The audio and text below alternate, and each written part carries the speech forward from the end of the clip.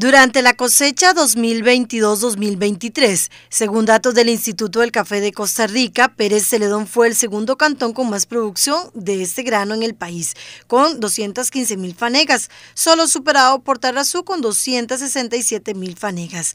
Precisamente este 29 de septiembre es el Día Nacional e Internacional del Café.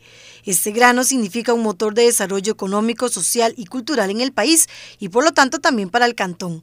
Para este año se espera una producción de unas 240 mil fanegas, con un incremento de un 7%. Pérez Celedón sigue siendo aún un cantón eh, en la que su economía depende en un gran porcentaje de, la producción de café, ¿verdad? No solo de la producción, sino de la comercialización y también recordar que aquí tenemos beneficios que exportan directamente su, su, su, eh, su producto, ¿verdad? Su grano de oro. Entonces el café en, Pérez Celedón eh, sigue siendo una de las actividades más importantes. Este año tenemos proyectada una, eh, una producción aproximada entre 235 mil a 240 mil fanegas, ¿verdad? Eso representa un aumento de un 7 a un 8% con respecto al año anterior. ¿Cuánto fue el año anterior, José?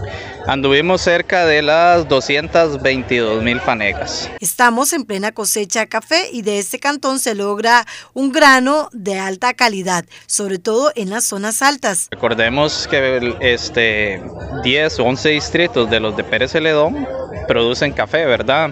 Y nuestra cosecha inicia, bueno, ya inició desde hace más de un mes, tenemos más de cuatro semanas de haber movimiento de café y recordemos que esto finaliza en marzo cuando salen los últimos eh, como llamamos, puñitos de café, ¿verdad? De, de, las partes altas o de las regiones donde tienen también cafés de maduración tardía. Lo que le quiero decir es que es un periodo muy amplio en la que es muy dinámico, mucha economía, mucho movimiento y por supuesto que afecta positivamente o negativamente, ¿verdad? Dependiendo cómo esté la, la, la economía del cantón. Actividades de reactivación son importantes para continuar con la siembra de las plantaciones, además de contar con diversidad de beneficios y un gran trabajo que hacen una serie de organizaciones. Sí, definitivo y, y me gusta mucho, digamos, hablar de este tema porque si bien es cierto, muchas veces escuchamos que vamos perdiendo muchos productores y esto, lo, eh, por otro lado nosotros podemos ver cómo día con día nos encontramos con nuevos proyectos, nuevas áreas este,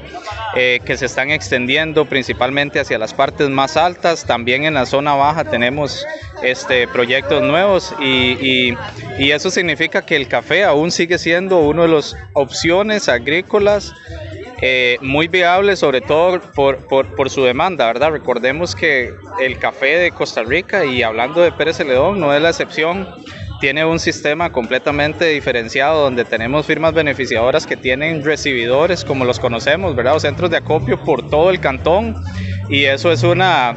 Eh, eso es una eso es un signo de, que aún el café sigue sigue siendo todavía eh, una actividad muy importante verdad el café es uno de los productos agrícolas de mayor importancia económica de Pérez Celedón.